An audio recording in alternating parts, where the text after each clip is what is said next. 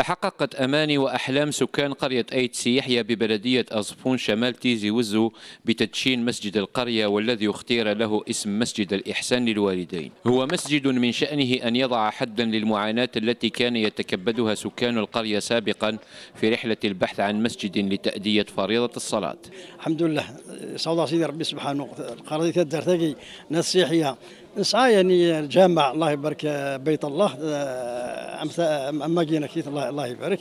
نلاقي في الحالة زيك. كنا زرنا يمكن نتصلى ماشي الحالة. آه بيد ربي رشاقين خوالي خوالي باقي يخدم. أسيدي يبارك ربي. تشبيه الناس سيدي سيدي ربي. ديجا الجامع حاجة العاليه كنقارن الدين يخدم لونيون يخدم غير الحوايج. تسيو ليمانيتي تسيو الانسانيه تي كلش. نكون ساقيتي تهدر ثاقي يلولد المولود أقي. والله يرند النفس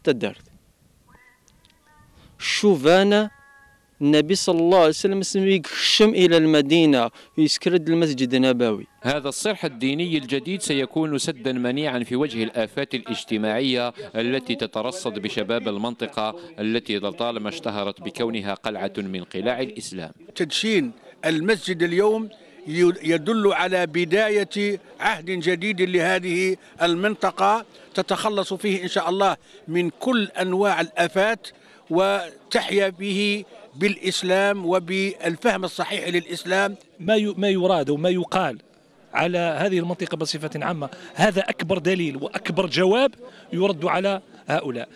أول من سارع الإسلام هي منطقة القبائل. أول. الآن في ولاية تيزي وزو أقول لا يوجد تقريبا لا يوجد قرية أو دشرة ليس بها مسجد إن لم يكن مسجدين أو ثلاث. هذا وتجدر الإشارة إلى أن بناء المساجد في منطقة الزواوة أصبح من الأمور التي يتسابق السكان للمشاركة فيها لما فيها من خير وصلاح للأمة والوطن.